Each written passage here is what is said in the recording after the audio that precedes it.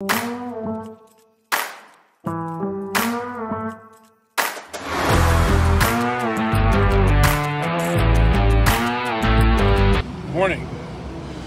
It is 2:58. Um, we are, or well, it's me just by myself today, uh, making the run down to Salem. Uh, we have a 2015 Ford Mustang with a carbon fiber hood that detached itself while driving. Uh, came back, smacked the windshield, and so he's taking it to a specialty shop down in Salem. They're going to try and do the fiberglass work and repair it. So we have this thing on dollies, and uh, the hood uh, somehow it's strapped down.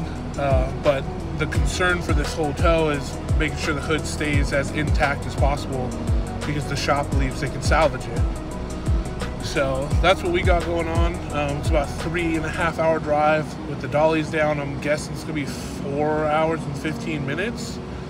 It's gonna. It's about 220 miles from where we're located. so we're gonna have to stop.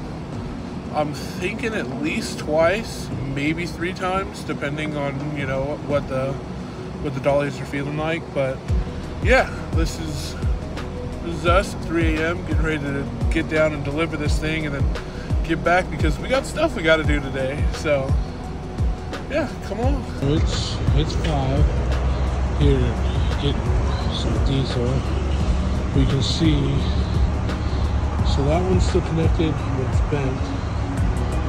It strapped down, trying to protect the hood the best we could. So we have a soft strap running under. So there's nothing connecting it down here at the bottom. Nothing.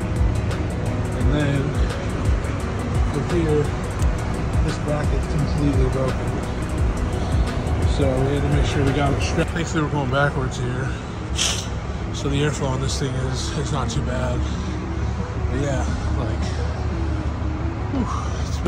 Interesting, it like took me 15 minutes just to try and figure out how I wanted to get this thing strapped. It was, it was not fun.